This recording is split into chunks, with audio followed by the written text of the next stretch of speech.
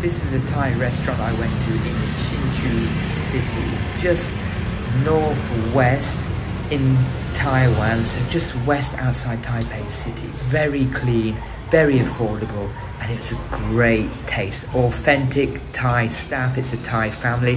This is a look at some of the menu on the wall. You can pause the video and zoom in just to check out the prices 100 NT dollar for most of the dishes up to 150 NT dollar. Here's the menu now what I ordered. I got a fried pad thai noodle for 110 NT. The currency conversion is in the comments section. I also got spicy fried beef, which is 100 NT, £2.50. And then I got some deep fried chicken with spicy sauce, which was 150 NT. And some fried vegetable, which was basically just some green vegetable for 80 NT. All of the dishes were amazing, authentic taste, good quality. Here's the pad thai, as I'm just going to show you on the menu. That was enough for two people, to be honest. So there's a pad thai.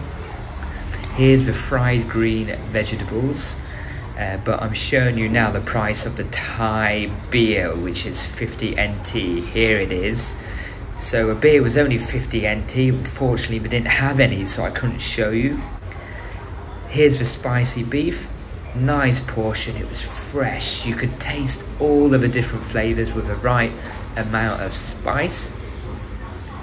Here is the fried chicken. I love this fried Thai chicken. They cut it up into slices and it's got that kind of sweet and sour taste as well. Now, moving on now to the page, the details, all the Google directions you can find in the comments section. Watch the other videos here.